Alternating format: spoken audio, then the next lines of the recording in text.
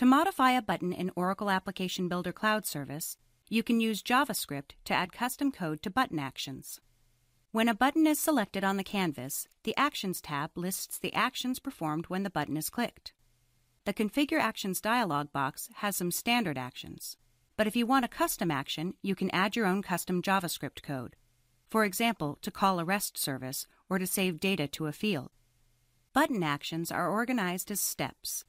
To add some JavaScript as the first step, drag the custom JavaScript code item into the list.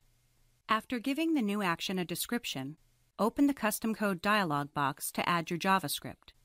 The dialog box contains a code editor and a list of fields in the business object.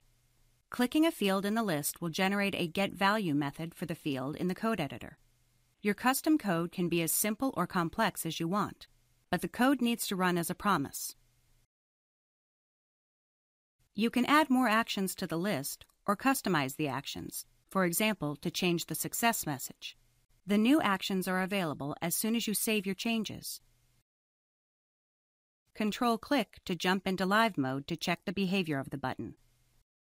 Thank you for watching. For more information, visit the Oracle Application Builder Cloud Service documentation page.